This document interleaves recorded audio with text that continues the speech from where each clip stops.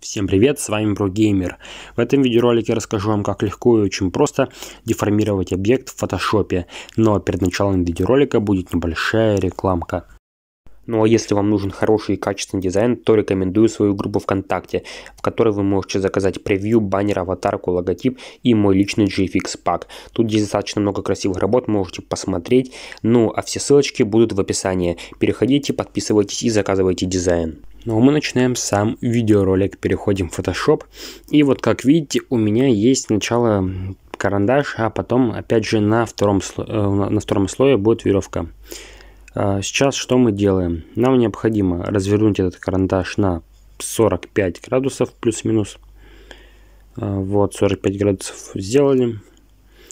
Дальше нам необходимо теперь его также немножко уменьшить, растянуть и подровнять местами.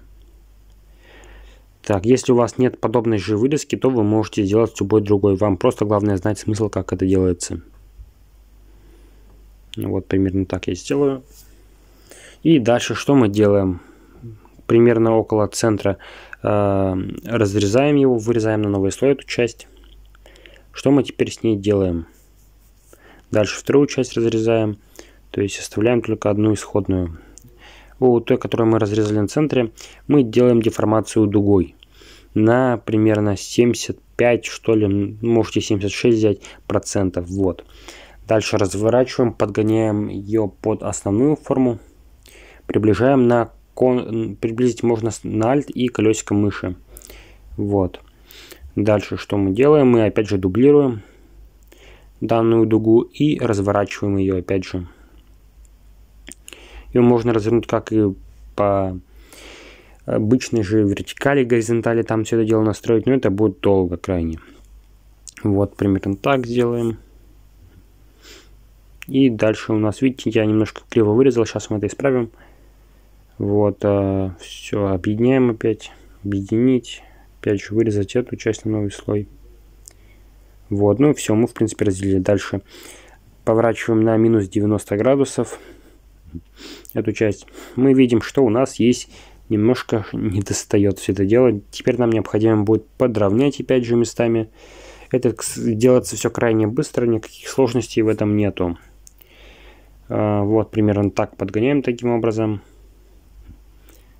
Дальше нам необходимо взять деформацию, чтобы вот эту часть вот эту полосочку нам подогнать тоже берем деформацию. Опять же нажимаем Ctrl плюс T, деформация. И уже в сеточке, когда э, мы работаем в сетке, подгоняем просто так по объему. Все это было крайне просто.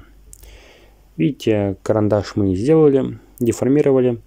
Сейчас мы сделаем это с веревкой. Проделаем тот же самый процесс. Ну, немножко другой процесс будет, но не суть. У меня их несколько типов. Вот, сейчас мы возьмем, без разницы, честно говоря, какой брать, нам необходимо будет просто избавиться от белого фона. Но если у вас есть в PNG, то есть у вас нету белого фона, то вам, в принципе, сейчас эти действия не надо делать, которые я сейчас делаю. То есть они как бы не входят в основное объяснение. Это я просто делаю, потому что не нашел нормальных исходников, и все. Вот, сейчас мы делаем, быстренько избавимся от белого фона при помощи, опять же, быстрого выделения и волшебной палочки можно это все сделать. Но я зачастую за быстрое выделение, мне с ним как-то проще работать, то есть никаких проблем в этом плане нету. Вот, все, думаю, этого хватит. А, дальше выставляем на центр, переходим в деформацию, выставляем дугой на 100%. Просто сверху вытягиваем, на 100% вытянем. Дальше создаем дубликат слоя, и нам необходимо будет отразить и по вертикали, и по горизонтали, и все. То есть дальше уже подровняем просто немножко, и у нас готов наш результат. А, вот. Опять же, ничего сложного в этом нет, видите, у нас уже получилось, но немножко в глаза бросаются вот эти вот детальности неровные. А, что мы делаем, чтобы их не было? Берем и мягкой кисточку, мягкой кистью немножко их убираем.